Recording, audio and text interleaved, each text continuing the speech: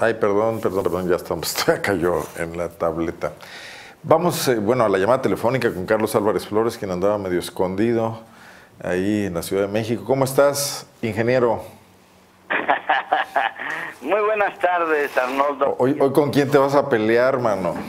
No, mira... Ya, ya te tengo miedo, más bien que eres más crítico que, que la mayoría de los críticos de Zona Franca. Oye, ¿sí sabes que le quieren dar una medalla a Héctor Jaime? Héctor Jaime Sinache. Sí, Sinache. A ver, a ver, una medalla por cuestiones médicas. Al mérito sanitario, ¿cómo ves? Pues bueno, pues a ver, esas cosas se compran y se venden. No a, ver, ayer vino, ayer vino Lorena Cruz Sánchez, Ajá. directora del Instituto Nacional de las Mujeres, Ajá. y le entregó a Miguel Márquez premios por ser un gobierno equitativo en materia de género y un lugar seguro para que trabajen las mujeres. Todo el gobierno de Guanajuato. Bueno. Hay casos de acoso, en las escuelas hay problemas serios, el gabinete de Márquez solo tiene una mujer. Bueno, pues esos premios son, ya sabes cómo son los premios en este país, Carlos. Bueno, mira, primero nomás debo decir que el señor gobernador Miguel Márquez Márquez está entre los últimos tres gobernadores de este país. El otro es Chiapas, Manuel Velasco, y el otro es el señor Arturo Núñez de Tabasco. ¿En, lo- en qué índice? Ellos son los tres peores gobernadores en materia ambiental y de contaminación de aire, de agua. ¿Qué, qué paradoja el, el- el ecologista Velasco. Bueno, bueno. Se- se- oye, se, se le secaron las, lag- las lagunas de agua azul, ¿no? Es un Las cascadas. Pero bueno, a lo que voy es a esto. El señor Márquez Márquez no tiene vergüenza dándole un premio a Héctor Jaime. Héctor es un funcionario muy irresponsable. Te voy a hablar de... Pero, pero a ver, espérame, espérame, espérame, espérame. Creo que el premio no se lo da Márquez. Oh, bueno, no sé... Se lo da una institución nacional de materia médica. Pues peor. Bueno, Porque a ver, no para que tengas el dato. También los médicos, los médicos andan en la luna. Ya hablaremos luego de los médicos. Ahorita quiero ir... Uno de ellos quiere ser candidato presidencial, el doctor Narro. No, hombre, por favor. Ese viejito que se vaya a su casa porque le puede dar un infarto. Bueno, ahí te va. Rápidamente, mira, Morena, el movimiento de regeneración nacional que es eh, cuyo líder es el señor Andrés Manuel López Obrador, tiene en la Asamblea Legislativa de la Ciudad de México un grupo de diputados Así es. diputados locales. Y hace un par de semanas y se agarraron a golpes, a mordidas y a patadas con los otros diputados, con los Del de- PRD. el PRD, los rojos y los verdes y los azules. Todos contra Morena, o al revés, Morena contra todos. Y tomaron el tema de la planta de termovalorización como, como el tema, como el argumento. Entonces yo quiero aclarar nada más esto para que todos tus miles y miles de ciberescuchas sepan que Morena, que los diputados analfabetas ambientales, que así les puse de cariño, porque esos son, o sea, cuando una persona no sabe nada del cuidado del medio ambiente, pues es un analfabeta ambiental. Entonces así le dije a un diputado que es el líder de los diputados de Morena aquí en la Asamblea Legislativa de la Ciudad de México, se llama César Arnulfo Cravioto Romero, que es un analfabeta ambiental, aparte de que es un cínico y mentiroso, pero eso es aparte. Entonces el tema es que dice que la planta de termovalorización está obsoleta. Falso. Hay que recordar nada más rápidamente que es la planta en la que se va a procesar la basura de la Ciudad de México. La vamos, ahorita lo repito.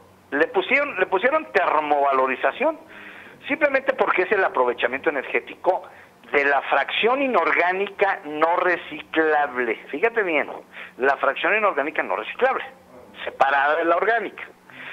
Ya lo reciclable se lo lleva el sindicato este, el Sindicato Único de Trabajadores de Limpia de la Ciudad de México, es poderosísimo, son miles, y que ya sabes, cuyo líder, bueno, son unos líderes ahí muy especiales, ¿no? Ellos ya se llevan todo lo que tiene valor, ellos lo agarran en la pepena o en la prepepena y se llevan todo lo que tiene algo de valor. Ellos ya están reciclando y se quedan con ese dinero. Bueno, ese es otro tema. Pero lo que ya nadie quiere de la fracción inorgánica no reciclable, esa se estaba yendo a enterrar a unos eh, sitios, que no rellenos, unos agujeros ahí en el Estado de México, en Iztapaluca, y costaba más o menos, cuesta todavía 1.300 millones al año. Llevar 8.500 toneladas día, que es un mundo de basura, al Estado de México a tirarlas ahí, a contaminar el suelo, el subsuelo, a, generación, a generar biogás, gases de efecto invernadero y contaminar seguramente algunos acuíferos superficiales. Bueno, entonces el diputado Cravioto Romero, que es un irresponsable, analfabeta ambiental, dice, van a endeudar a la Ciudad de México 30 años porque le dieron un contrato tramposo a la empresa Veolia. El contrato se llama PPS, es un contrato de prestación de servicios. La inversión de la planta la va a hacer la empresa. Van a ser 11.500 o 12.000 millones de pesos, pero eso es bronca de la empresa. La empresa es una empresa alemana muy seria, grande, que maneja más de 60 plantas de este tipo en el mundo y que ellos van a conseguir el dinero y la van a construir. El trato es este. Yo gobierno de la Ciudad de México, te entrego 4.500 toneladas al día de esa fracción inorgánica no reciclable y tú me vas a regresar kilowatts. En total me vas a regresar al año 965 mil megawatts en un año y con esa energía es con la que va a poder mover el metro de la Ciudad de México, las 12 líneas del metro incluyendo la de oro, que así le llamo a la 12, porque se robaron 40 mil millones de pesos. Ya no te digo quién se lo robó, ¿verdad? Bueno, pues entre tres grandotes y, el señor Ebrar, ¿verdad? Desaparecieron de la faz de la tierra 46 mil millones de pesos con una línea que no jala, pero ese es otro tema. Entonces, el diputado Clavioto dice que es deuda, no es cierto, es gasto corriente, porque hoy el DF gasta 2 mil millones en el recibo de la luz del metro, hoy y, su, y subiendo, increciendo, porque acuérdate que lo que dijo el señor Peña de que iba a bajar la luz, iba a bajar la gasolina, iba a bajar el gas natural. No, nada. Es, no bajó nada, ni va a bajar nunca, mi querido Oílo bien, nunca. Como por qué va a bajar, ¿no? Al revés, todo va a subir. Bueno, entonces, dos mil millones que paga por el recibo del metro, de la energía del metro, más mil trescientos que paga por llevar la cochina basura, enterrarla en unos agujeros, son tres mil trescientos. ¿Y el DF sabes cuánto le va a pagar? Le va a pagar, en vez de 3.000, le va a pagar 2.300 a la empresa. O sea, va a haber un ahorro de mil millones de pesos anuales. Claro que de esos también van a tomar para la, el otro proyecto que se llama biodigestión anaerobia, donde van a poner la fracción orgánica en unos biodigestores gigantes y van a mover algo así como van a procesar dos mil toneladas diarias, que es un mundo de toneladas de chile, cebollas y jitomates. Y también los van a convertir en biogás y va a ser con una turbina de gas moderna, eficiente, van a producir también energía eléctrica. O sea, ahora sí ya vamos a entrar al siglo XXI, porque estábamos en el siglo XIV. Siglo XIV. México está en el siglo XIV en manejo de residuos sólidos urbanos. ¿no? Así es. O sea, Estamos que, queriendo enterrar la basura. Y, eso, es en León. Pero si te sales tantito a Guanajuato, te vas a Silao, te vas a Irapuato, te vas a Celaya, es un mugrero. Oílo bien, un mugrero. Todo el Bueno, ni siquiera se recicla, ni siquiera se recicla la basura, Carlos. No por eso, nada, ¿qué se va a reciclar, hombre? Se, entierra junta, orgánica, inorgánica, reciclable. Ya, no se permite la pepena en León, por ejemplo. Oye, ¿tú crees que el bueno para nada de Ricardo de la Parra de la Parra va a estar preocupado por reaprovechar, aprovechar esos residuos separados? Roberto Centeno, el director del Sistema de Integral de Aseo Público. Oye, ¿y tú crees que don Héctor, ¿cómo se llama? López Santillano, ¿cómo se llama el señor presidente? Héctor López Santillano. ¿Tú crees que él sabe eh, los... Que se gasta 100 millones de pesos en, en publicidad en los periódicos y su popularidad es como la de Peña Nieto. Pero tú crees que ese señor tiene idea del valor energético de esos residuos? ¿Tú crees que, pues, es empresario, debería entenderlo. Lo que no tiene es voluntad política ni gobierno. que no tiene, oye, lo que no tienen es vergüenza, mi querido. pero mira, a lo que voy es a esto, ya para terminar con los morenos, porque estos señores de Morena, pues ya sabes, les encantan los... Y si repartes parejo, mano, a ver. Bueno, ahí te va. Simplemente debo decir esto. No es deuda, es gasto corriente. Planta obsoleta, pues está loco, va a ser 2020. Imagínate, la planta va a ser modelo 2020. Hay otra cosa, dijo el diputado, los especialistas de Greenpeace, así dijo, dicen que va a contaminar. Eso no es cierto ya las plantas modernas de termovalorización, que simplemente es una combustión controlada en donde las emisiones son tratadas químicamente dentro de la planta. Se neutralizan, se, se, se, tratan químicamente con amoníaco y con cal y con filtros. o sea, lo único que generan estas plantas son cenizas, que sí hay que disponerlas como residuos peligrosos, y unas escorias, que habrá que ver si son o no peligrosas, pero si son peligrosas o de manera especial, tanto las cenizas como las escorias van a ser dispuestas en instalaciones autorizadas para ese tipo, ¿ok? Entonces, no va a contaminar la planta, no es deuda pública y no es una planta obsoleta. Entonces, eso es lo que yo quería decir, que todo lo que diga Morena respecto a la planta es falso. ¿Quieren golpear al señor Mancera? Bueno, pues eso ya es la pelea política, ya empezaron los golpes porque no quieren que el señor Mancera vaya al frente. Digo, al PAN, PRD, Movimiento Ciudadano, ¿me explico? sí, sí, sí, Que dicen que es ciudadano, bueno, eso de ciudadano, bueno. Entonces, ya empezaron los golpes y están usando la planta de termo, que es un avance, que es un...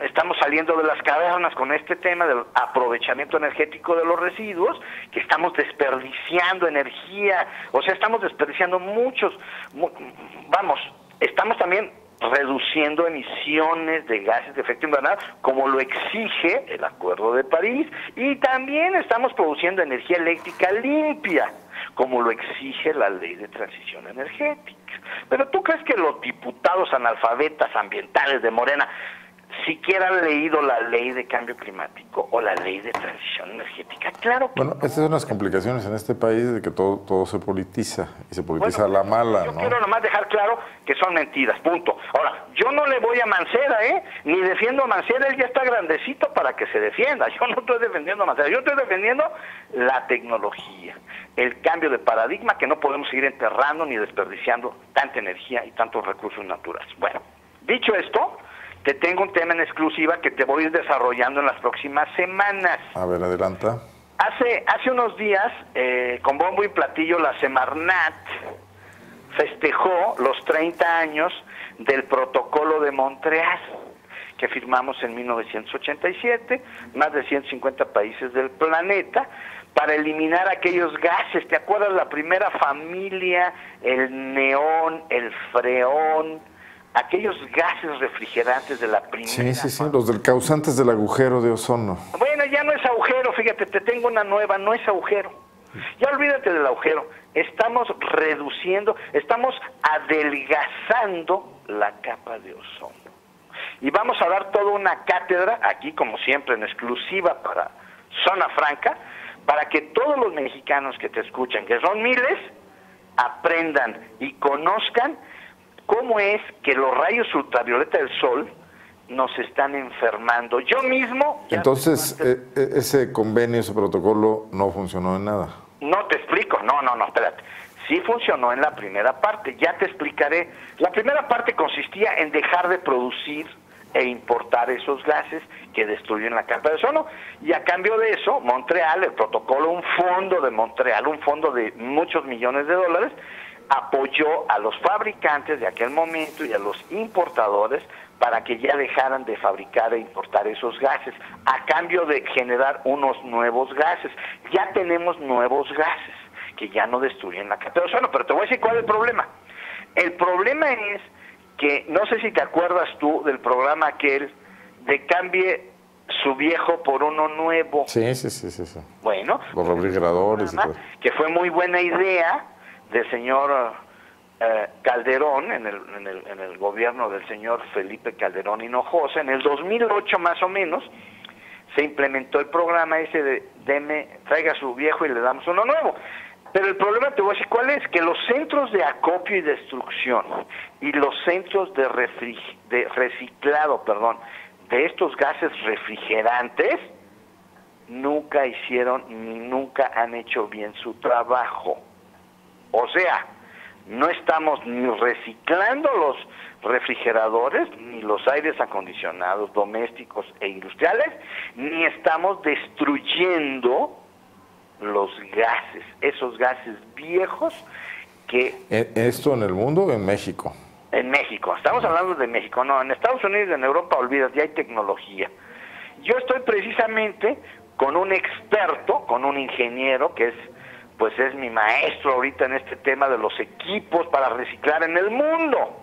Es el ingeniero Abel Duarte Ortega, con el que estoy aquí. Por eso te di estos números así medios diferentes telefónicos, donde estoy aquí, estoy por el norte, estoy cerca de la Virgencita de Guadalupe, acá por la villa, y estoy con él porque precisamente me está mostrando toda la tecnología que él tiene para efecto de reciclar verdaderamente estos refrigeradores y estos aires acondicionados y sobre todo destruir adecuadamente esos gases.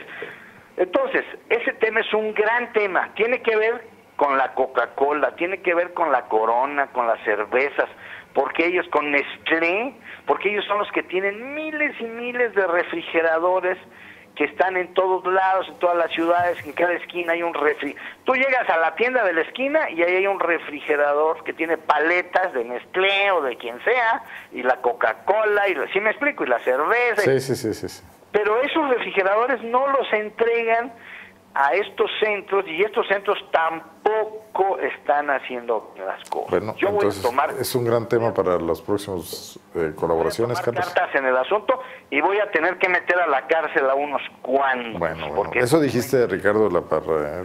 Es que Todavía anda por ahí vivito y coleando. Oye, pero ya me, ya me lloraron acá en México los panistas.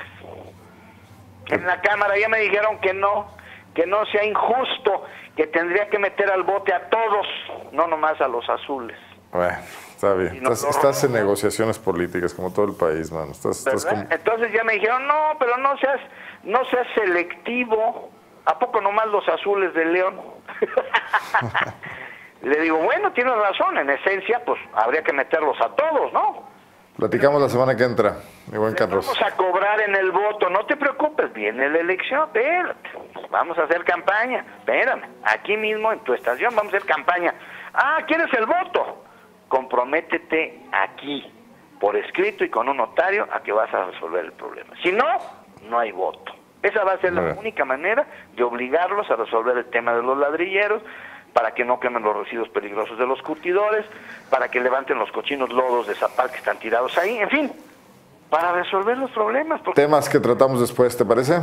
Adelante, mi querido. Nos quedamos con lo de Morena nada más hoy, los diputados estos que están haciendo barbaridades en la Ciudad de México. Exactamente, ya los conoces. Así son los de Moreno. ¿Sale? Aquí te escucho en ocho días y muchas Con gracias. mucho gusto, Arnoldo. Muy buenas tardes a ti y a todo tu auditorio. Don Carlos Álvarez Flores, experto.